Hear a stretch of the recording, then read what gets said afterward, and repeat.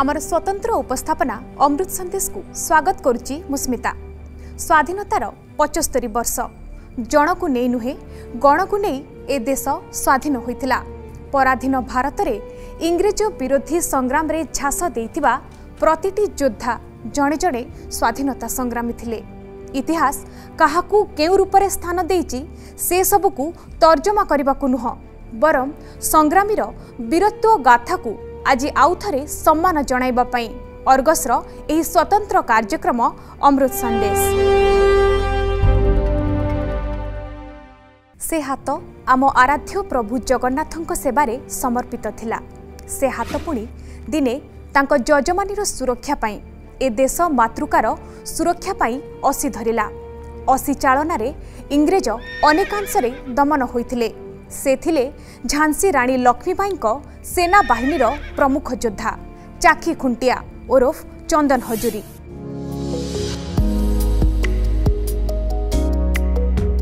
ଜଗନ୍ନାଥ ଧାମ ପୁରୀ ପ୍ରଭୁଙ୍କ ଶ୍ରୀମନ୍ଦିର ଚାରିପଟେ ଥାନ୍ତି ଅନେକ ସେବକ ସେମିତି ଜଣେ ସେବକ ପୁରୀ ହରଚଣ୍ଡୀ ସାହିର ରଘୁନାଥ ଖୁଣ୍ଟିଆ ଯିଏ ଥିଲେ ମହାପ୍ରଭୁଙ୍କ ଅଙ୍ଗଲାଗି ସେବକ ରଘୁନାଥଙ୍କର ବଂଶରକ୍ଷା ପାଇଁ ସନ୍ତାନଟିଏ ନଥିବାରୁ ପତ୍ନୀ କମଳାବତୀ ଅନେକ ମାନସିକ ବ୍ରତ କରୁଥିଲେ। ସେଦିନ ଥିଲା ଅଠରଶହ ସତେଇଶ ମସିହା କାର୍ତ୍ତିକ ମାସ ଶୁକ୍ଳ ପକ୍ଷର ଏକ ସକାଳ। ରଘୁନାଥ ମହାପ୍ରଭୁଙ୍କ ଚନ୍ଦନ ବେଶରେ ବ୍ୟସ୍ତ ଥାନ୍ତି ଖବର ପହଞ୍ଚେ ପୁଅଟିଏ ହୋଇଛି। ରଘୁନାଥ ପୁଅର ନାଁ ରଖନ୍ତି ଚନ୍ଦନ। ଜନଶ୍ରୁତି କହେ ଚନ୍ଦନ ଛୋଟବେଳେ ଖୁବ୍ ପତଳା ଥିଲେ। ତୀକ୍ଷ୍ଣ ନାକ ହୋଇଥିବାରୁ ଚନ୍ଦନଙ୍କୁ ସାହି ପଡ଼ିଶା ଚାଖୁ ଓ ପରବର୍ତ୍ତୀ ସମୟରେ ଚନ୍ଦନ ଚାଖି ଖୁଣ୍ଟିଆ ନାମରେ ପରିଚିତ ହେଲେ। ଯେତେବେଳେ ଗ୍ୱାଲିୟରରେ ହତ୍ୟା କରିଦେଲେ ଇଂରେଜ ବାଲା ତ ଖଣ୍ଡା ବାଜିଯାଇଛି ବୟସ ହେଇଯାଇଛନ୍ତି ରାଣୀ ଲକ୍ଷ୍ମୀବାଇ। ଘୋଡ଼ା ଉପରେ ଆସି ଯାଇଛନ୍ତି ସୁନା ନଳା ଗୋଟେ ଥିଲା ସେଠି ଫୁଲ ଫୁଲବାଗ ଗୋଟେ ଅଛି ସେ ବଗିଚା ସେ ବଗିଚାଠି ଗଙ୍ଗା ଦାସ ବାବାଜୀ ଅଛିଲେ ଗଙ୍ଗା ଦାସ ଅଛି କିଏ ଯେ ନା ହେଉଛନ୍ତି ଚାକିରି ଘଣ୍ଟିଆ ସିଏ ଦେବରାଣୀ ଦେଖିକି ଆଗ ମହାଦ କୈବଲ୍ୟ ନିର୍ମାଲ୍ୟ ନିର୍ମାଲ୍ୟ ପାଣି ଗଙ୍ଗା ପାଣି ତାଙ୍କୁ ପିଆଇଦେଲେ ସେ ସେ ମରିଗଲା ସେ ଘାସ ବିନ୍ଧି ଶୁଖିଲା ଘାସ ଆଣିକି ତାକୁ ଇଏ କରିଦେଲେ ସେ ତ ମୂର୍ତ୍ତି ରହିଛି ଲେଖାଇ ସବୁ ନାଁ ଲେଖାଇଛି ଏଙ୍କର ଗୀତ ଲେଖାଇଛି ଯେ बहन की चिट्ठी मोरे मेरे हाथ पड़ी तो ये मैं ही जंग का असली खिलाड़ी ତେଣୁ ମୋ ଲାଜ ରକ୍ଷା ଇଜ୍ଜତ ରକ୍ଷା କରିବା ପାଇଁ ମୁଁ ଇଏ କରିବି ତେଣୁ ଶିବିରରେ ଯାଇକିରି ସେ ଟ୍ରେନିଂ ଦେଉଥିଲେ ତାଲିମ ଦେଉଥିଲେ ସେମାନେ କେମିତି ଭାବରେ ଯୁଦ୍ଧ କରିବାକୁ ହେବ ଏସବୁ ତାଙ୍କର ତ ଦାୟିତ୍ୱ ଥିଲା। ସମୟର ଗତି ସହିତ ତାଳ ଦେଇ ଆଦ୍ୟ କିଶୋରରେ ପହଞ୍ଚନ୍ତି ଚାଖି ଖୁଣ୍ଟିଆ। ଚାଟଶାଳୀ ପାଠ ସହିତ ଓଡ଼ିଆ ହିନ୍ଦୀ ଓ ସଂସ୍କୃତ ଭାଷାରେ ଖୁବ୍ ପାରଙ୍ଗମତା ଲାଭ କରନ୍ତି। ସେ ସମୟର ଚଳନୀକୁ ନେଇ ମାତ୍ର ବାର ବର୍ଷ ବୟସରେ ବିବାହ କରନ୍ତି ସୁନ୍ଦରମଣି ନାମକ ଜଣେ କନ୍ୟାଙ୍କୁ। ମହାପ୍ରଭୁଙ୍କ ସେବକ ଭାବରେ ଚାଖି ଖୁଣ୍ଟିଆଙ୍କ ଯଜମାନରେ ଥାନ୍ତି ଝାନ୍ସୀର ରାଣୀ ଲକ୍ଷ୍ମୀବାଈଙ୍କ ପରିବାର। ସ୍ୱାମୀ ଗଙ୍ଗାଧରଙ୍କ ମୃତ୍ୟୁ ପରେ ଝାନ୍ସୀ ରାଣୀ ଲକ୍ଷ୍ମୀବାଇ ଯେତେବେଳେ ବ୍ରିଟିଶ ବିରୁଦ୍ଧରେ ରଣହୁଙ୍କାର ଦିଅନ୍ତି ସେହି ସମୟରେ ଚାଖି ଖୁଣ୍ଟିଆ ଓରଫ ଚନ୍ଦନ ହଜୁରୀ ହାତରେ ଅସି ଧରନ୍ତି। ସାଜନ୍ତୀ ଲକ୍ଷ୍ମୀବାଇଙ୍କ ସେନାର ପ୍ରମୁଖ ଯୋଦ୍ଧା। ଅଶ୍ୱଚାଳନା ହେଉ କି ଅସି ଚାଳନା ହେଉ ଅବା ତୀର ଚାଳନା। ପୁଣି ବାହୁଯୁଦ୍ଧ। ସବୁଥିରେ ପାରଙ୍ଗମ ଏହି ପୁରୀ ମାଟିର ବୀର ଚାଖି ଖୁଣ୍ଟିଆ ଓରଫ ଚନ୍ଦନ ହଜୁରୀ। ବ୍ରିଟିଶ ଅନେକ ସ୍ୱାଧୀନତା ସଂଗ୍ରାମୀକି ମାରିଦେଇଛି ତୋପ ସାମ୍ନାରେ ଠିଆ କରି କାହାକୁ କଳା ପାଣି ପଠିକି ମାରି ସାରିଛି। କିନ୍ତୁ ବ୍ରିଟିଶର ମୁଣ୍ଡ ବିନ୍ଧା କରିଦେଲେ ଚନ୍ଦନ ହଜୁରୀ ଚାକି ଖୁଣ୍ଟିଆ ଝାନ୍ସୀ ରାଣୀଙ୍କର ଗୁରୁ ଝାନ୍ସୀ ରାଣୀଙ୍କ ସହିତ ଆଲୋଚନା କରି କିପରି ସିପାହୀ ବିଦ୍ରୋହର ଯୁଦ୍ଧ କରାଯିବ କେମିତି କରାଯିବ ତାର ସାଙ୍ଗରେ ଆଲୋଚନା କଲା ପରେ ତାଙ୍କୁ ବି ବ୍ରିଟିଶ ଖୋଜିଲା ଯେ ଏମିତି କିଏ ସେ ଜଣେ ଲୋକ ଅଛନ୍ତି ଯୋଗୁଁ ଯାକି ଶ୍ରୀମନ୍ଦିରର ସେବାୟତ ଯାହାଙ୍କର ହାଇଟ୍ ହେଉଛି ସାଢ଼େ ଆଠ ଫୁଟ ଉପରେ ହେବ ସେ ଯେଉଁ ଖଣ୍ଡାରେ ଲୋକଙ୍କର ବେକ ଛେଦ କରିଦେଲେ ଶହ ଶହ ଲୋକଙ୍କୁ ମାରିଛନ୍ତି। ତ ଭାବନ୍ତୁ କେତେ ସିଏ ମାନେ ବୀରତ୍ୱକୁ ବୀର ରଜା ଯେହେତୁ ସେ ତାଙ୍କୁ ସମ୍ମାନ ସହିତ ନିଜ ଘରେ ଗଙ୍ଗାର କୂଳ ଗଙ୍ଗାର ଯିବା ତଟ ରାସ୍ତାରେ ତାଙ୍କ ଘର ଭିତରେ ତାଙ୍କର ବଙ୍କର ଭିତରେ ରଖିପାରିଲେ ବାର ବର୍ଷ। ବ୍ରିଟିଶ ଖୋଜିକି ପାଇଲାନି କିନ୍ତୁ କିନ୍ତୁ ଚନ୍ଦନ ଚାକିଖୁଣ୍ଡା ଜୀବିତ ହିସାବରେ ସେ ପୁରୀ ପ୍ରତ୍ୟାବର୍ତ୍ତନ କଲେ। ସମ୍ଭବତଃ ଈଶ୍ୱର ସେହିମାନଙ୍କୁ ସଂସାରକୁ ପଠାଇବା ପୂର୍ବରୁ ନିର୍ଦ୍ଦେଶ ଦେଇଥାନ୍ତି ଯାଅ। ଧରାର ଶଗଡ଼ ଗୁଳାରୁ ହଟି ଏମିତି କିଛି କର ଯାହା ତୁମକୁ ଅମର କରିଦେବ। ଆଉ ସେହିମାନଙ୍କ ଭିତରୁ ଚାଖିଖୁଣ୍ଟିଆ ଜଣେ। ପୁରୀ ହରଚଣ୍ଡୀ ସାହିର ପୁଅ ସେ ସମୟରେ ଅଗ୍ନିର ସ୍ଫୁଲିଙ୍ଗ ପରି ବିଚ୍ଛୁରିତ ହେଉଥିଲା। ଯାହାଙ୍କର ଶକ୍ତି ଆଉ ବିଚକ୍ଷଣ ବୁଦ୍ଧି ଆଗରେ ବ୍ରିଟିଶ ହାର ମାନିଥିଲା। ଏଇ ତ ବହୁତ ପୁରୁଣା ଘର। ଯେଉଁ ସମୟରେ କି ତାଙ୍କର ଲୋକଙ୍କ ପ୍ରତି ଜାଗା ଆଖଡ଼ା ପ୍ରତି ପ- ଯାତ୍ରା ସଙ୍ଗୀତ ପ୍ରତି ବହୁତ ତାଙ୍କର ସମ୍ପର୍କ ଥିଲା ଯାହାଫଳରେ କି ଜାଗା ଆଖଡ଼ାଠୁ ଧରିକିରି ସେ ପ୍ରକାର ଲୋକଙ୍କୁ ଟ୍ରେନିଂ ଦେଉଥିଲେ କେମିତି ଇଂରେ- ଇଂରେଜ ସାଙ୍ଗରେ ନଡ଼ିବା ପାଇଁ ଏଇ ପ୍ରକାର ଏଇ ପ୍ରକାର ସଙ୍ଗୀତରେ ବି ତାଙ୍କର ରୁଚି ଥିଲା ଯାହାଫଳରେ କି ତାଙ୍କର ବହୁତ ଭଜନ ଅଛି ଏମିତି ଏମିତି ଏଇ ପ୍ରକାର ହିସାବରେ ତାଙ୍କର ଏଇ ଘର ହେଉଛି ବହୁତ ଚଳପ୍ରଚଳ ଥିଲା। ଏଇ ପ୍ରକାର ଥିଲା ବି ଇଂରେଜ ବି ଆସିକିରି ଯେତେବେଳେ ସ୍ୱାଧୀନତା ସଂଗ୍ରାମରେ ସେ ଯୋଗ ଦେଇଥିଲେ ଝାନ୍ସୀ ରାଣୀଙ୍କ ସାଙ୍ଗରେ ଇଂରେଜ ବି ଏ ପ୍ରକାର କରିଥିଲେ ଯେ ଏଇ ଘର ବି ଗାଈ ଘର ନିଲାମ ବି କରିବା ପାଇଁ ବି ନିଲାମ ହେଇଥିଲା। କଣ ଖୋଜିଛନ୍ତି ସେଇ ସମୟରେ ଖୋଜିଥିବେ ଖୋଜି ନଥିବେ କେମିତି? ଯେତେବେଳେ ଘର ନିଲାମ ହେଉଛି ଗୋଟେ ଲୋକକୁ କେମିତି ଖୋଜି ନ ନଯିବେ ସିଏ ଏକଦାରେ ସେଠି ଯାଇକି ଲୁଚିକିରି ରହିଗଲେ। ସେପଟେ ରାଣୀ ଲକ୍ଷ୍ମୀବାଈଙ୍କ ମୃତ୍ୟୁ ପରେ ଚାଖିଖୁଣ୍ଟିଆ ଉଭାନ ହୋଇଗଲେ। ଅନ୍ୟପଟେ ପୁରୀ ମାଟିରେ ଖବର ପହଞ୍ଚିଲା ଚାଖି ବ୍ରିଟିଶ ହାତରେ ଶହୀଦ ହୋଇଛନ୍ତି। ବୀର କିନ୍ତୁ ପୁଣି ଥରେ ଜୀବିତ ଅବସ୍ଥାରେ ପୁରୀ ଫେରିଥିଲେ। ତାଙ୍କ ବିଧବା ସ୍ତ୍ରୀ ପୁଣି ସଧବା ସାଜିଲେ। ଆଜି ବି ସେ ଢଗ ଅନେକ ପୁରୀବାସୀଙ୍କ ମୁହଁରେ। ଯେଉଁ ଢଗ ସେଦିନ ଚାଖିଙ୍କୁ ଦେଖିଲା ପରେ ତାଙ୍କ ବଡ଼ ଭଉଣୀ ଚାଖିଙ୍କ ସ୍ତ୍ରୀ ସୁନ୍ଦରମଣିଙ୍କୁ କହିଥିଲେ ନଈରେ ବାଳିଆ ଚହଟିଲା ଶଙ୍ଖା ସିନ୍ଦୁର ନାଲୋ ଝିଅ ପୁଣି ଚାଖିଆ ଲେଉଟିଲା। ସେତେବେଳେ ସମୟରେ ଗୋଟିଏ ଚୁଟି ବନ୍ଧା ତାଙ୍କ ଖବର ଯାଇକି ପହଞ୍ଚିଲା ଏତେ ବଳବାନ ଥିଲେ ଯେ ହିସାବର ବାହାରେ। ଇଏ ଦେଖୁଥିଲେ ଯେ ଗୋଟେ ମାସ୍ ଆସୁଛି ମିନିମମ୍ ପଚିଶ ତିରିଶ ଲୋକ ଗୋଟେ ମାସରେ ଆସୁଛନ୍ତି ସେ ସମୟରେ ସେ ତା ଭିତରେ ସେ ଦେଖିଥିଲେ ଯେ ସରସା ୟା ଭିତରେ କିଏ? ସବୁଠୁ ୱାନ୍ କିଏ? ନମ୍ବର ୱାନ୍ କିଏ? ସେ ବ- ବିରାଟ ଏକ ଯୋଉ ବଡ଼ ସିପେଇ ତାକୁ ଗୋଟିଏ ଝାପରେ ନେଇଯାଆନ୍ତି। ନେଇ ନେଇକରି ଗୋଟିଏ ଗୋଡ଼ ଗୋଟେ ଗୋଡ଼ ଉପରେ ଆଉ ଗୋଟିଏ ମୋଜା ତାଙ୍କର ସେ ପୋଲିସଟିର ଅ, ସିପେଇଟିର ଗୋଡ଼ ଟେକି ଦିଅନ୍ତି। ଟେକି ଦେଲା ଫଳରେ ୱିଦିନ୍ ଗୋଟେ ସେକେଣ୍ଡ ଭିତରେ ତାଙ୍କର ମଝିର ଯୋଉ ଶିର ଫାଟିଯାଏ। ବୋଧହୁଏ ଚାଖି ମର୍ତ୍ତ୍ୟଧାମରେ ତାଙ୍କର ସବୁ କର୍ମ ସାରି ଦେଇଥିଲେ। ଯେଉଁ କର୍ମ ପାଇଁ ଈଶ୍ୱର ତାଙ୍କୁ ପଠାଇଥିଲେ ନହେଲେ ମାତ୍ର ବୟାଳିଶ ତେୟାଳିଶ ବର୍ଷରେ କେହି କ'ଣ ଏ ଧାମ ଛାଡ଼େ? ଅଠରଶହ ସତୁରି ମସିହାର ଏକ ଅଶୁଭ ଦିନରେ ଚାଖିଙ୍କର ମୃତ୍ୟୁ ହୋଇଥିଲା। ଲିଭି ଯାଇଥିଲା ଓଡ଼ିଶା ତଥା ଭାରତ ମାଟିର ଆଉ ଏକ ବୀରର ଜୀବନ ଦୀପ। ଚାଖି ସିନା ଆଜି ନାହାନ୍ତି ହେଲେ ତାଙ୍କର ବୀରତ୍ୱ ଆଜି ପ୍ରତିଟି ଓଡ଼ିଆଙ୍କୁ ତାଙ୍କୁ ଆଉଥରେ ମନେ ପକାଇବାକୁ ବାଧ୍ୟ କରିଛି। ସେଦିନ ତାପଙ୍କ ମାଟିରେ ବାଜି ଉଠିଥିଲା ରଣହୁଙ୍କାର। ଗୋଟେ ପଟେ ବ୍ରିଟିଶ ସୈନ୍ୟ ଅନ୍ୟପଟେ ତାପଙ୍କ ମାଟିର ବୀର ଯୋଦ୍ଧାମାନେ ପାଇକ ବୀରଙ୍କ ଆଗରେ ଫିକା ପଡ଼ିଯାଇଥିଲା ବ୍ରିଟିଶ ବାହିନୀ। ସତୁରିରୁ ଅଧିକ ବ୍ରିଟିଶଙ୍କ ଲହୁରେ ସେଦିନ ରକ୍ତ ରଞ୍ଜିତ ହୋଇଥିଲା ତାପଙ୍ଗ ମାଟି। ଛତ୍ରଭଙ୍ଗ ଦେଇ ଚାଲି ଯାଇଥିଲେ ବ୍ରିଟିଶ ସୈନ୍ୟ। ଆଜି ସମୟରେ ଏ କଥା ଗପ ପରି ଲାଗିଲେ ବି ସେଦିନ ଯାହା ନିଛକ ସତ ଥିଲା ତାହା ଥିଲା ସ୍ୱୟଂ ମା ହଟକେଶ୍ୱରୀ ତାଙ୍କ ଭକ୍ତଙ୍କ ରୂପରେ ବ୍ରିଟିଶ ସୈନ୍ୟଙ୍କ ବିରୁଦ୍ଧରେ ଯୁଦ୍ଧ କରୁଥିଲେ। ଆଉ ଭକ୍ତ ତାଙ୍କ ମାଙ୍କ ପାଖରେ ବ୍ରତରେ ବସିଥିଲେ। ଅମୃତ ସନ୍ଦେଶରେ ଆଜିର ଅଧ୍ୟାୟରେ ଆମେ ସମ୍ମାନ ଜଣାଉଛୁ ମା ହଟକେଶ୍ୱରୀଙ୍କର ସେହି ଭକ୍ତଙ୍କୁ ଯିଏ ମରିବି ଆଜି ଅମର। ବ୍ରିଟିଶ ବିରୁଦ୍ଧରେ ସଂଗଠିତ ଜନ ଆନ୍ଦୋଳନର ଆଉ ଜଣେ ପୁରୋଧା। ତାପଙ୍ଗ ମାଟିର ଦଳବେହେରା ମାଧବଚନ୍ଦ୍ର ରାଉତରାୟ।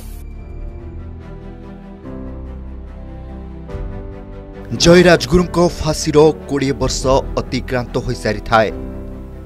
ଅନ୍ୟପଟେ ବକ୍ସି ଜଗବନ୍ଧୁ କଟକରେ ବ୍ରିଟିଶଙ୍କ ନଜରବନ୍ଦୀରେ ଥାନ୍ତି ପାଇକ ପୁଅ ମୁରବୀ ଶୂନ୍ୟ ହୋଇଯାଇଥାଏ। ଠିକ୍ ଏହି ସମୟରେ ଅପେକ୍ଷାରେ ଥାଏ ବ୍ରିଟିଶ। ସେଦିନ ଥାଏ ଅଠରଶହ ସତେଇଶ ମସିହା ମେ ମାସ ତେଇଶ ତାରିଖ। ଜଣେ ମୁନ୍ସି ପଚାଶରୁ ଅଧିକ ଇଂରେଜ ସୈନିକ ଧରି ପହଞ୍ଚନ୍ତି ତାପଙ୍ଗଡ଼ରେ ଉଦ୍ଦେଶ୍ୟ ଲୋକମାନଙ୍କଠାରୁ କର ଆଦାୟ କରିବା। ହେଲେ ଲୋକେ ସ୍ପଷ୍ଟ ମନା କରିଦିଅନ୍ତି ଯେ ଆମେ କର ଦେବୁ ନାହିଁ। ଆମେ ଆମ ଦଳ ବେହେରା ମାଧବ ଚନ୍ଦ୍ର ରାଉତରାୟଙ୍କୁ କର ଦେଇଛୁ। ଆଉ ଆଗକୁ ତାଙ୍କୁ ହିଁ ଦେବୁ ହେଲେ ଏ କଥାକୁ ସହଜରେ ହଜମ କରିପାରିନଥିଲେ ମୁନ୍ସି ବଳ ପ୍ରୟୋଗ କରି କର ଆଦାୟ କରିବାକୁ ଉଦ୍ୟମ କରିଥିଲେ ଏପରିକି ପୁରୁଷମାନଙ୍କ ଅନୁପସ୍ଥିତି ସତ୍ତ୍ୱେ ଘରେ ବସି ସ୍ତ୍ରୀ ଲୋକମାନଙ୍କଠାରୁ ବଳପୂର୍ବକ କର ଆଦାୟ କଲେ ଖବର ତୀର ବେଗରେ ପହଞ୍ଚିଗଲା ମାଧବ ରାଉତରାୟଙ୍କ ପାଖରେ ମାଧବ ରାଉତରାୟ ତୁରନ୍ତ ଦଳେଇ ଓ ନାୟକମାନଙ୍କୁ ଡାକି ଏକ ବୈଠକ କଲେ ଏବଂ ବ୍ରିଟିଶ ବିରୋଧରେ ନେତୃତ୍ୱ ନେଲେ। ନିଜିଗଡ଼ ତାପଙ୍ଗ ଏକ ସଂଗ୍ରାମୀ ଭୂମି। ଏହାର ଇତିହାସ ଅନେକଙ୍କୁ ରୋମାଞ୍ଚିତ କରିବ। ଭାରତବର୍ଷର ସ୍ୱାଧୀନତା ସଂଗ୍ରାମ ଇତିହାସକୁ ଆପଣମାନେ ଯେତେବେଳେ ଅନୁଧ୍ୟାନ କରିବେ ତାପଙ୍ଗଡ଼ର ସ୍ୱାଧୀନତା ସଂଗ୍ରାମ ଅନନ୍ୟ ଅଟେ। ତାପଙ୍ଗଡ଼ର ସାମନ୍ତ ମାଧବଚନ୍ଦ୍ର ରାଉତରାୟ ସ୍ୱାଧୀନ ଚେତା। ଅଠରଶହ ସତେଇଶ ମସିହା ଭାରତ ସାରା ଭାରତକୁ ଯେତେବେଳେ ଫିରିଙ୍ଗ ସରକାର ଅକୁପାଇ କରିନେଇଥିଲା କିନ୍ତୁ ତାପଙ୍ଗଡ଼କୁ ସେ ଆସିନଥିଲା। ତାପଙ୍ଗଗଡ଼ ଅଠରଶହ ସତେଇଶରେ ସେ ପହଞ୍ଚିଛନ୍ତି ଏବଂ ସାମନ୍ତ ମାଧବଚନ୍ଦ୍ରଙ୍କୁ ସାମ୍ନା କରିଛନ୍ତି। ସାମନ୍ତ ମାଧବଚନ୍ଦ୍ର ରାଉତରାୟ ସେ ନିର୍ଭୀକ ଭାବରେ ତାର ଜବାବ ଦେଇଛନ୍ତି ଯେ ଆମେ ଶିର ଦେବୁ କିନ୍ତୁ ସାର ଦେବୁନି ପାଇକ ପୁଅ ଦଳ ବେହେରା ମାଧବ ଚନ୍ଦ୍ର ରାଉତରାୟ ବ୍ରିଟିଶକୁ ସାମ୍ନା କରିବାକୁ ହଟିଆ ପାହାଡ଼ରେ ଆରମ୍ଭ କରିଥିଲେ ସମରାଭ୍ୟାସ। ମା ହଟେଶ୍ୱରୀଙ୍କ ଆଶୀର୍ବାଦ ନେଇ ବ୍ରିଟିଶ ସୈନ୍ୟଙ୍କ ବିରୋଧରେ ରଣହୁଙ୍କାର ଦେଲେ ସତେଇଶ ଜୁନ୍ ଅଠରଶହ ସତେଇଶ ମସିହା କାଞ୍ଜିଆଗଡ଼ଠାରେ ପାଇକ ସେନା ଓ ବ୍ରିଟିଶ ଫୌଜଙ୍କ ଭିତରେ ଚାଲିଲା ଘମାଘୋଟ ଲଢ଼େଇ ହେଲେ ହାତ ଗଣତି ପାଇକ ସେନା ଆଗରେ ଫିକା ପଡ଼ିଗଲା ବ୍ରିଟିଶର ବିଶାଳ ଫୌଜ ବର୍ତ୍ତମାନ ଆମେ କ'ଣ ଆମେ ତ ସେ ଜିନିଷଟାକୁ ନେଇ ଆଣିକି ଥୋଇପାରିଲୁନୁ ଆମର ପିଲାମାନେ କି ଆମର ବାପମାନେ ଏ ଜିନିଷଟାକୁ କରିପାରିଲେ ନାହିଁ। କି ସରକାର ମଧ୍ୟ ଆକୁ କିଛି ଟିକେ କ'ଣ ଯଦି ସାହାଯ୍ୟ ସହାନୁଭୂତି କରିଥାନ୍ତା ଦେଶ ପାଇଁ ଜୀବନ ଦେଇଛନ୍ତି ଦେଶ ପାଇଁ ଲାଗିଛନ୍ତି ମାଟି ପାଇଁ ଲାଗିଛନ୍ତି ଯଦି କିଛି କରିଥାନ୍ତା ୟା ପାଇଁ ପାଇକମାନଙ୍କ ପାଇଁ ତାହେଲେ ଆଉ ଟିକେ ଆଗକୁ ଯାଇଥାନ୍ତେ କି ଟିକେ ତାଙ୍କର ପୂର୍ବ କି ଇଏ ଟିକେ ଆଗକୁ ନାଁ ରହିଥାନ୍ତା। ବର୍ତ୍ତମାନ ତ କିଛି ନାହିଁ ୟାଙ୍କ ଉପରେ। ପାଇକ ଉପରେ କିଛି ନାହିଁ। ତେଣୁ ଆଉ ମୁଁ- ମୁଁ- ଆମେ ଚଳିବୁ କେମିତି? ତେଣୁ ଏ ତ ଅପଭ୍ରଷ୍ଟ ହେଇଗଲାଣି ନା। ଆଜିକାଲି ସବୁ ଜିନିଷ ଅପଭ୍ରଷ୍ଟ। ଶାସନ ଯେମିତି ମୁଁ ଅପଭ୍ରଷ୍ଟ ପ୍ରଶାସନ ବି ଅପଭ୍ରଷ୍ଟ। ଆମର ଯୁବପିଢ଼ି ବି ଅପଭ୍ରଷ୍ଟ। କିଛି ରାଷ୍ଟ୍ରଦ୍ରୋହୀଙ୍କୁ ହାତ କରି ବ୍ରିଟିଶ ଖୋଜିଥିଲା ଦଳ ବେହେରା ମାଧବ ଚନ୍ଦ୍ରଙ୍କ ଦୁର୍ବଳତା। ହେଲେ ଜାଣିନଥିଲା ତାଙ୍କର ସେହି ଦୁର୍ବଳତା। ତାଙ୍କ ପାଇଁ ଶକ୍ତି ହୋଇ ଛିଡ଼ା ହେବା ପାଇଁ ମା ହଟକେଶ୍ୱରୀଙ୍କୁ ଆହ୍ୱାନ କରିଥିଲେ। ମା ହଟକେଶ୍ୱରୀ ସ୍ୱୟଂ ମାଧବ ଚନ୍ଦ୍ରଙ୍କ ରୂପରେ ବ୍ରିଟିଶ ସୈନ୍ୟଙ୍କ ସହିତ ବ୍ରିଟିଶକୁ ଧରାଶାୟୀ କରିଥିଲେ। ଆଉ ଦଳ ବେହେରା ମାଧବ ଚନ୍ଦ୍ର ସପ୍ତାହର ଗୋଟିଏ ଦିନ ମଙ୍ଗଳବାର ମାଙ୍କ ବ୍ରତରେ ରୁହନ୍ତି। ସେହିଦିନ ସେ କୌଣସି ଅସ୍ତ୍ର ଧାରଣ କରନ୍ତି ନାହିଁ। ଉତ୍ତରାଧିକାରୀ ବୋଲି ଆମେ ଆମର ଗର୍ବ ଆମର ସେଇଟା ହିଁ ଗୌରବ। ଏହା ହେଉଛି ସେମାନଙ୍କର ପିଢ଼ି ଅନୁସାରେ ଆମେ ଯେତିକି ଉପଲବ୍ଧି କରୁଛୁ ଆମେ ଯେଉଁଠିକି ଗଲେ କି ଯାହା କଲେ ଆମେ ସେତିକି କହିଲେ ଆମ ଛାତି ଫୁଲି ଉଠୁଛି। କର୍ପ- କର୍ଣ୍ଣ- କର୍ପୂର ଉଡ଼ିଗଲାଣି କନା ପଡ଼ିଛି। କିନ୍ତୁ ସେହି ହିସାବରେ ଅ, ମୋ ପୁ- ମୋ ଗୁରୁଜନମାନେ ଯେତିକି କହିଲେ ମାନେ ଆମ ଦଳବେରାଙ୍କ ବିଷୟରେ ଗାଁ ବିଷୟରେ ଯେତିକି ଅବଗତ କଲେ ସେଇଟା ଯଥେଷ୍ଟ କରିଛନ୍ତି। ମୁଁ ଆଉ ସେ ଉଦ୍ଦେଶ୍ୟରେ କ'ଣ କହିବି? ଏତିକି କହୁଛି। ମାନ୍ୟବର ମାନ୍ୟବର ଉଁ, ଇଏଙ୍କୁ ନବୀନ ପଟ୍ଟନାୟକଙ୍କୁ ଏତିକି ଜଣାଉଛି କିନ୍ତୁ ଏଇ ଯେଉଁ ସ୍ୱାଧୀନତା ସଂଗ୍ରାମୀ ଗାଁମାନଙ୍କୁ କିଛି ସହାୟତା କରନ୍ତୁ ଟିକେ ଦିବ୍ୟ ଦୃଷ୍ଟି ଅନାନ୍ତୁ ଦୀର୍ଘ ଏକ ସପ୍ତାହରୁ ଅଧିକ ଦିନ ଧରି ଯୁଦ୍ଧ ତାରି ଭିତରେ ବାରମ୍ବାର ନିଜ ଲୋକମାନଙ୍କ ଦ୍ୱାରା ଷଡ଼ଯନ୍ତ୍ରର ଶିକାର ମାଧବଚନ୍ଦ୍ରଙ୍କୁ ହତୋତ୍ସାହିତ କରିଦିଏ ଅନ୍ୟପଟେ ଗୁପ୍ତ ଅସ୍ତ୍ରାଗାରକୁ ବ୍ରିଟିଶ ଲୁଣ୍ଠନ କରେ ଏବଂ ମନ୍ଦିର ବେଢ଼ା ରକ୍ତମୟ କରିଦିଏ। ଭାଙ୍ଗି ପଡ଼ନ୍ତି ଦଳବେହେରା ମାଧବଚନ୍ଦ୍ର ରାଉତରାୟ ଏବଂ ଯୁଦ୍ଧକ୍ଷେତ୍ର ଛାଡ଼ି ଚାଲିଯାଆନ୍ତି। ଅନ୍ୟପଟେ ବ୍ରିଟିଶ ଦଳବେହେରାଙ୍କ ଉଦ୍ଦେଶ୍ୟରେ ଏକ ହଜାର ଟଙ୍କା ପୁରସ୍କାର ରାଶି ଘୋଷଣା କରେ। ପରର ଦୁଃଖ ସହିପାରନ୍ତିନି ନିଜର ମୁଣ୍ଡ ମଧ୍ୟ ଦେବା ପାଇଁ ସେ ପ୍ରସ୍ତୁତ ଥିଲେ ଏବଂ ମାଟି ପାଇଁ ସଂଗ୍ରାମୀ ଜୀବନ ଯୋଦ୍ଧାର ଜୀବନ ଆଠଗଡ଼ ବାରପଲ୍ଲୀର ଦଳେଇ ଦଳବେହେରା ପାଇକ ଦାୟଦମାନଙ୍କୁ ନେଇ ଦୀର୍ଘ ସାତ ଦିନ ବ୍ରିଟିଶ ସରକାରକୁ ଥରହର କରିଥିବା ସେହି ତାପଙ୍ଗ ଦଳବେହେରା ସାମନ୍ତ ମାଧବଚନ୍ଦ୍ରଙ୍କର ଇତିହାସ ଅନନ୍ୟ ଅଟେ ଯେ ଅନ୍ୟ ପାଇଁ ପର ପାଇଁ ନିଜର ମୁଣ୍ଡ ଦେଇପାରନ୍ତି। ଚିଲିକା ଉପକୂଳରେ ଭୟଙ୍କର ଝଡ଼ ତୋଫାନ। ଭାଙ୍ଗିଯାଏ କୈବର୍ତ୍ତଙ୍କ ମାଛଧରା ନାଁଟି ଯେଉଁ ନାଁରୁ ସେ ତାର ଗୁଜରା ମେଣ୍ଟାଉଥିଲା ଜଙ୍ଗଲ ଭିତରେ କୈବର୍ତ୍ତ ଆଗକୁ ଚାଲିଥାଏ ସାମ୍ନାରେ ଦେଖେ ଜଣେ ଲମ୍ବା କେଶ ଲମ୍ବା ଦାଢ଼ିଧାରୀ ବ୍ୟକ୍ତିଙ୍କୁ ବ୍ୟକ୍ତି ଜଣକ ପଚାରନ୍ତେ କୈବର୍ତ୍ତ ଉତ୍ତର ଦିଏ ମୁଁ ଦଳ ବେହେରାଙ୍କୁ ଦେଖା କରିବାକୁ ଯାଉଛି ମୁଁ ଜାଣିଛି ଦଳ ବେହେରା ବଡ଼ ଉଦାର ଲୋକ ତାଙ୍କ ପାଖକୁ ଗଲେ ସେ ନିଶ୍ଚୟ ମୋତେ ସାହାଯ୍ୟ କରିବେ ବ୍ୟକ୍ତି ଜଣକ କୁହନ୍ତି ମୋ ସହିତ ଆସନ୍ତୁ କୈବର୍ତ୍ତ ତାଙ୍କୁ ଅନୁସରଣ କରୁଥାଏ ଖୋର୍ଦ୍ଧାର କଚେରୀକୁ ବ୍ୟକ୍ତି ଜଣକ ପ୍ରବେଶ କରନ୍ତି। କୁହନ୍ତି ଏ ଲୋକ ମୋତେ ଧରା ଦେଇଛି। ଏ ଲୋକକୁ ଆପଣଙ୍କ ଘୋଷଣା ଅନୁସାରେ ଏକ ହଜାର ଟଙ୍କା ଦିଆଯାଉ କୈବର୍ତ୍ତ ଜଣକ ହତଚମ୍ବିତ ହୋଇ ଭୋ ଭୋ ହୋଇ କାନ୍ଦି ଉଠେ। କହେ ମୋର ଏ ପୁରସ୍କାର ରାଶି ଦରକାର ନାହିଁ। ସେଦିନ କିନ୍ତୁ ଉଦ୍ଦେଶ୍ୟ ଯାହା ଥାଉ ନା କାହିଁକି? ବ୍ରିଟିଶ ଦଳ ବେହେରାଙ୍କୁ ମୁକ୍ତ କରିଦିଅନ୍ତି। ଆଜି ବି ଅନେକ ବ୍ରିଟିଶ ଏ ଚାଲକୁ ବୁଝିପାରିନାହାନ୍ତି। ଉଣେଇଶହ ବତିଶ ମସିହାର କ୍ଲାନ୍ତ ଅପରାହ୍ନରେ ତାପଙ୍ଗ ମାଟିର ଏ ପାଇକବୀର ଇହଧାମ ତ୍ୟାଗ କରନ୍ତି। ହେଲେ ଦେଶ ମାତୃକାର ସୁରକ୍ଷାରେ ତାଙ୍କର ସେ ତ୍ୟାଗ ଆଜି ବି କୋଟି କୋଟି ଓଡ଼ିଆଙ୍କୁ ଗର୍ବିତ କରୁଛି। ଗୋଟେ ପଟେ ବ୍ରିଟିଶର ହୁକୁମାତି ଅନ୍ୟପଟେ ଦେଶ ପ୍ରେମର ଭୋକ। ଗୋଟେ ପଟେ ଦାସତ୍ୱ ଅନ୍ୟପଟେ ମାଟି ମାର ସମ୍ମାନ। କ'ଣ କରିବେ ଭାରତବାସୀ? କ'ଣ ମୃତ୍ୟୁକୁ ଆଲିଙ୍ଗନ କରିବେ? ନା ଯଦି ମୃତ୍ୟୁକୁ ଆଲିଙ୍ଗନ କରିବେ ତାହେଲେ ରଣକ୍ଷେତ୍ରରେ କାହିଁକି ନୁହେଁ? ଏଇଭଳି ଅନେକ ପ୍ରଶ୍ନର ଉତ୍ତର ଖୋଜିବାକୁ ଯାଇ ଭାରତୀୟଟି ଯେଉଁ ଅତୈବରେ ପହଞ୍ଚେ ତାହା ଯୁଦ୍ଧ ବିଦ୍ରୋହ। ପରାଧୀନ ଭାରତକୁ ଇଂରେଜମାନଙ୍କ କବଳରୁ ମୁକ୍ତ କରିବାକୁ ଯାଇ ଅନେକ ବୀର ଯୋଦ୍ଧା ବିଦ୍ରୋହ ଅଗ୍ନିରେ ଝାସ ଦେଇଥିଲେ। ଆଜି ଅଧ୍ୟାୟର ଶେଷ ସ୍ତମ୍ଭରେ ଆମେ ସମ୍ମାନ ଜଣାଇବା ସେହିଭଳି ଜଣେ ବୀର ଯୋଦ୍ଧାଙ୍କୁ ଯିଏ ପଶ୍ଚିମ ଓଡ଼ିଶାର ବରଗଡ଼ ଜିଲ୍ଲା ସଂଗ୍ରାମୀ ପରିବାରର ମୁଖ୍ୟ ପୁରୋଧା। ଘେଂସ ଜମିଦାର ମାଧବ ସିଂ ବରିହା।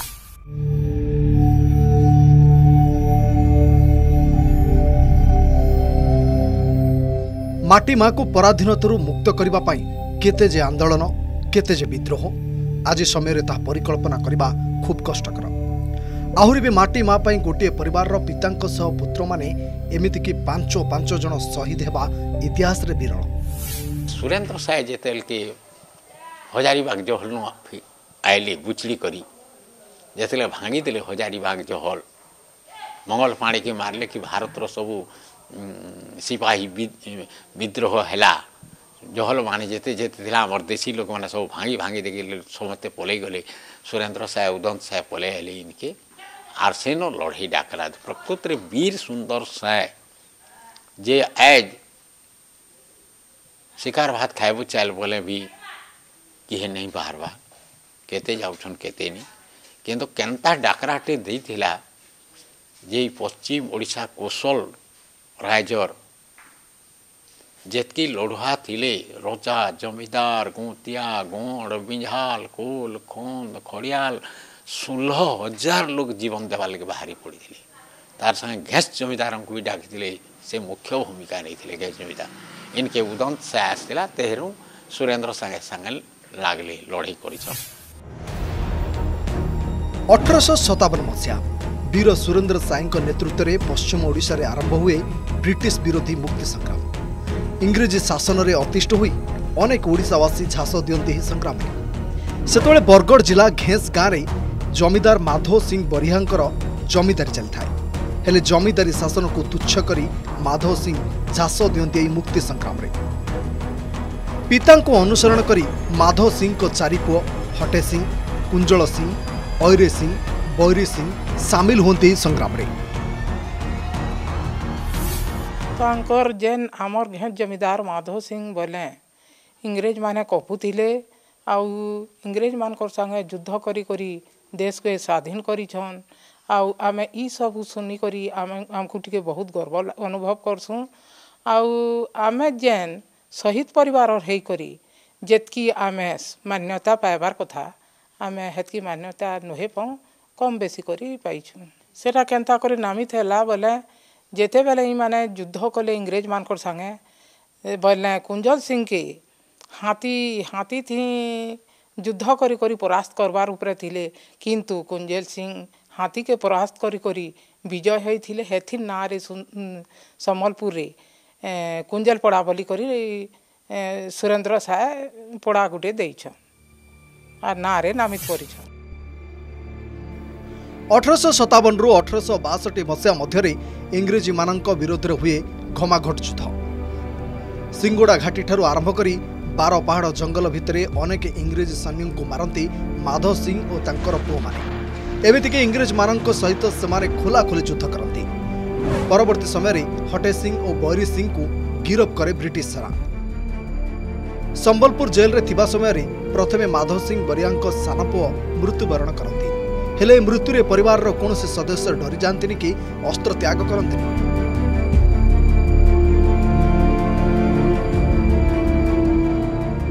ପରେ ପରେ ସୁଦୂର ଆଣ୍ଡାମାନରେ କଳାପାଣି ଦଣ୍ଡ ପାଉଥିବା ଅବସ୍ଥାରେ ମୃତ୍ୟୁବରଣ କରନ୍ତି ହଟେ ସିଂ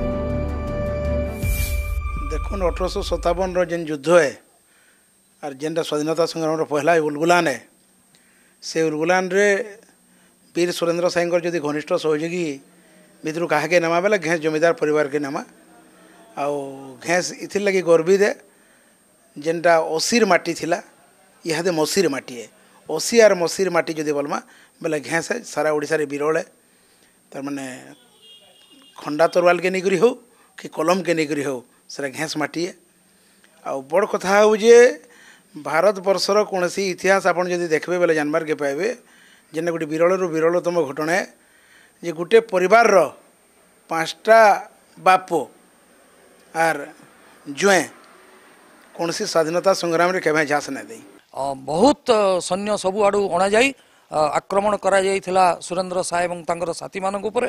କିନ୍ତୁ ସୁରେନ୍ଦ୍ର ସାଏ ଏବଂ ସାଥୀମାନଙ୍କୁ ଧରିବା କେବେ ମଧ୍ୟ ସମ୍ଭବପର ହୋଇନଥିଲା ଏବଂ ଏଥିରେ ଯେଉଁ ତାଙ୍କର ସହଗାମୀ ଏବଂ ସହକର୍ମୀମାନଙ୍କର ଯେଉଁ ବୀରତ୍ୱର ପରାକାଷ୍ଠା ରହିଛି ସୁରେନ୍ଦ୍ର ସାଏଙ୍କର ଯେଉଁ ସଂଗ୍ରାମର ସଫଳତା ପାଇଁ ଏଥିରେ ମାଧବ ସିଂ ଏବଂ ତାଙ୍କ ପରିବାରଙ୍କର ଅଭୂତପୂର୍ବ ଯୋଗଦାନ ରହିଛି। ତାଙ୍କର ଯେଉଁ ବଳିଦାନ ପରିବାରର ସେ ଗୋଟେ ବିରଳ ରହିଛି। କାରଣ ମାଧବ ସିଂ ଏବଂ ତାଙ୍କ ପୁତ୍ରମାନଙ୍କର ବଳିଦାନ ପୁତ୍ରର ସମୁଦିର ବଳିଦାନ ପୁତ୍ରର ବନ୍ଧୁର ବଳିଦାନ ଏଭଳି ଯଦି ଦେଖିବା ଇଏ ନିଶ୍ଚିତ ଭାବରେ ଏକ ଅନନ୍ୟ ନିଦର୍ଶନ। ଘେଁସର ଏହି ସଂଗ୍ରାମୀ ପରିବାରର ବୀରତ୍ୱର ଗାଥା ଏଇଠି ସରେନି। ମାଧବ ସିଂଙ୍କ ଦ୍ୱିତୀୟ ପୁତ୍ର କୁଞ୍ଜଳ ସିଂଙ୍କୁ ମଧ୍ୟ ଇଂରେଜମାନେ ସମ୍ବଲପୁରଠାରେ ଫାଶୀ ଖୁଣ୍ଟରେ ଚଢ଼ାଇ ଦିଅନ୍ତି। ଅନ୍ୟପଟେ ଐରୀ ସିଂ ମଧ୍ୟ ଇଂରେଜମାନଙ୍କ ସହିତ ଲଢ଼େଇରେ ପ୍ରାଣ ହାରନ୍ତି। ଲିଭିଯାଏ ଚାରି ଚାରୋଟି କୂଳଦୀପ। ତଥାପି ଭାଙ୍ଗି ପଡ଼ିନଥାନ୍ତି ମାଧବ ସିଂ ବରିହା। ବାସ୍ତରୀ ବର୍ଷ ପର୍ଯ୍ୟନ୍ତ ଜଙ୍ଗଲରେ ଲୁଚି ଇଂରେଜୀ ବିରୋଧରେ ସଂଗ୍ରାମ ଜାରି ରଖିଥାନ୍ତି। ହେଲେ ନିୟତି ଲେଖାରେ ଆଉ କିଛି ଥିଲା। ଜଙ୍ଗଲ ଭିତରେ ଥିବା ମାଟିଆ ଭଟା ଗ୍ରାମରୁ ବିଶ୍ରାମ ନେଉଥିବା ସମୟରେ ଗିରଫ ହୁଅନ୍ତି ମାଧବ ସିଂ। ଅଠରଶହ ବାଷଠି ମସିହା ଡିସେମ୍ବର ଏକତିରିଶ ତାରିଖ। ଘେଁସ ଗାଁ ଜମିଦାର ପରିବାରର ଉଜ୍ଜଳତମ ନକ୍ଷତ୍ର। ସମ୍ବଲପୁର ଜେଲରେ ଫାଶୀ ଚଢ଼ାଇ ଦିଆଯାଏ ମାଧବ ସିଂ ବରିହାଙ୍କୁ। ଗୋଟିଏ ପରିବାରର ପିତା ଓ ଚାରି ପୁତ୍ର ସହିତ ପାଞ୍ଚ ପାଞ୍ଚ ଜଣ ଶହୀଦ ହେବା ଭାରତ ଇତିହାସରେ ବିରଳ।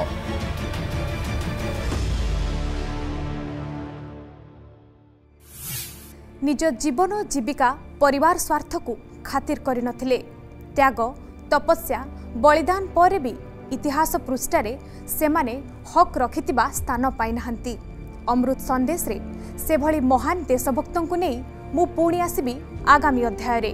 ଆଜିର ଅଧ୍ୟାୟ ତ ଶେଷ ହେଲା। ଆସନ୍ତା ସପ୍ତାହରେ ଠିକ୍ ଏହି ସମୟରେ ପୁଣି ଦେଖାହେବ। ଆଜି ପାଇଁ ବିଦାୟ ଦିଅନ୍ତୁ। ନମସ୍କାର।